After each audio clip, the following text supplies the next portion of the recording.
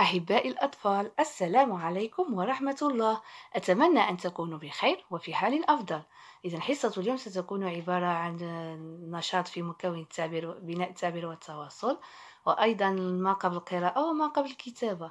أه، سنبدأ أولا بمكون التعبير والتواصل والذي يتضمن موضوع فصل الربيع الذي سبق أن اشتغلنا عليه وقرأناه.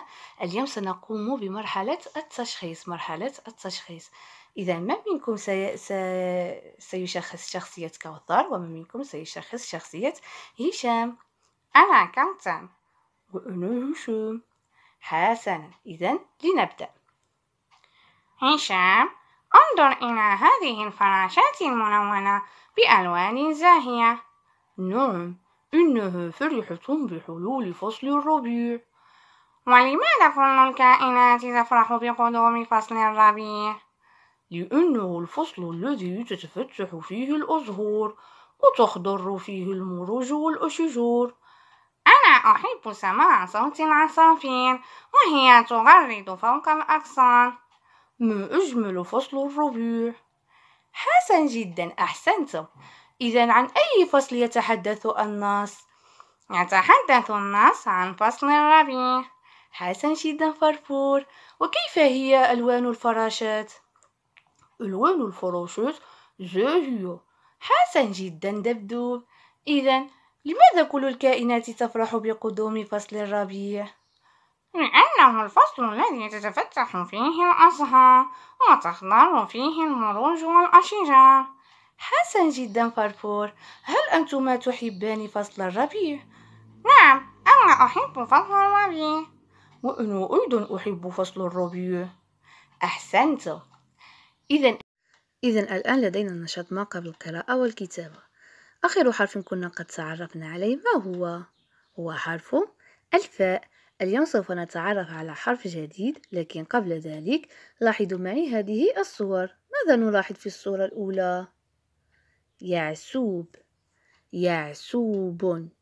وهو نوع من أنواع الحشرات الذي يظهر في فصل الربيع. والصورة الثانية؟ طيور طيور. والصورة الثالثة ظبي. ظبي. وهو حيوان بري يعيش في الغابة. إذا إذا لاحظتم أن آه، هناك صوت يتكرر في هذه في كلمة هذه الصور فما هو هذا الصوت؟ إذا للتعرف على هذا الصوت تابعوا معي لنقرأ كلمة هذه الصور.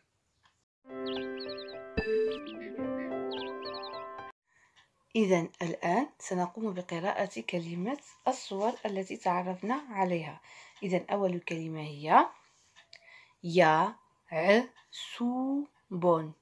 يا ع سو بون. هنا لدينا لون آه، صوت بلون أحمر. هو صوت صوت يا.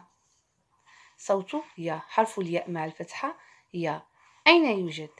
يوجد في أول الكلمة. إذا حرف الياء في أول الكلمة.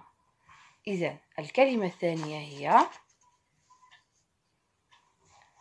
طو يو رون طو يو رون هنا أيضا لدينا صوت بلون أحمر. هو صوت ماذا؟ صوت يو. صوت يو.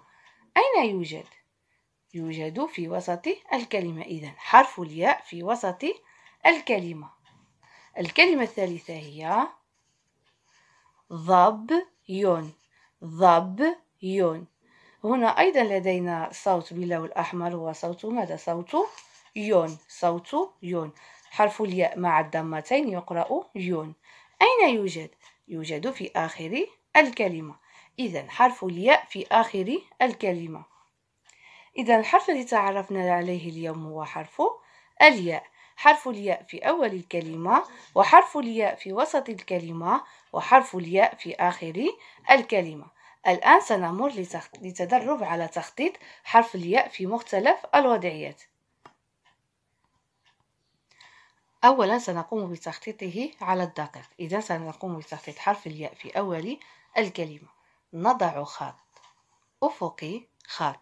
أفقي ثم خط عمودي صغير خط عمودي صغير ثم نقطتين من تحت. حرف الياء لديه نقطتين من تحت. حرف الياء في وسط الكلمة.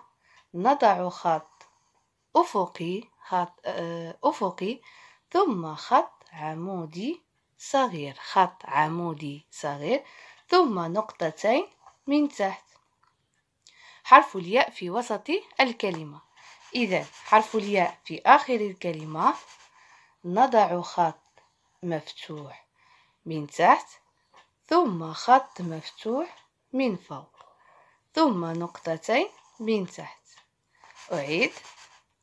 نضع خط مفتوح من تحت ثم خط مفتوح من فوق ثم نقطتين من تحت. حرف الياء في آخر الكلمة. الآن سنمر لتخطيط حرف الياء على الورق. إذا سنقوم بتخطيط حرف الياء في أول الكلمة. نضع خط. أفقي. ثم خط. عمودي صغير. ثم نقطتين من تحت حرف الياء في أول الكلمة مثل يعسوب حرف الياء في وسط الكلمة نضع خط أفقي ثم نأتي إلى الوسط ونضع خط عمودي صغير ثم نقطتين من تحت. حرف الياء في وسط الكلمة.